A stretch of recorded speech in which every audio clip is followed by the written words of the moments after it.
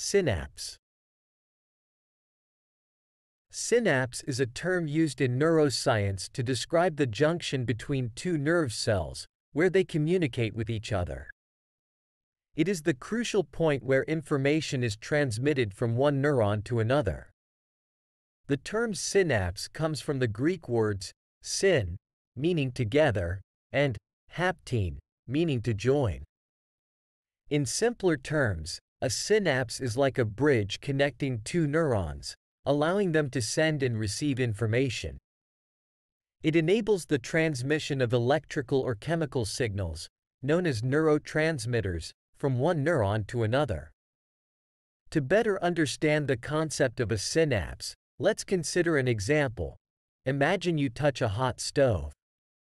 The sensory neurons in your hand detect the heat and send an electrical signal to your brain.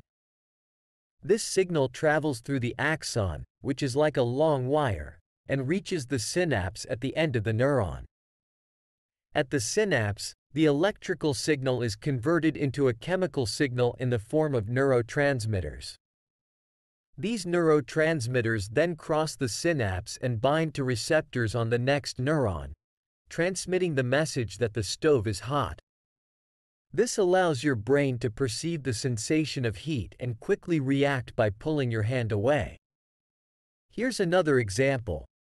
When you learn something new, like a new word, the information is stored in your memory. The synapses between the neurons in your brain play a crucial role in this process. As you repeatedly practice and reinforce the new word, the synapses become stronger, making it easier for your brain to retrieve that information later. This is why repetition and practice are essential for learning and memory formation.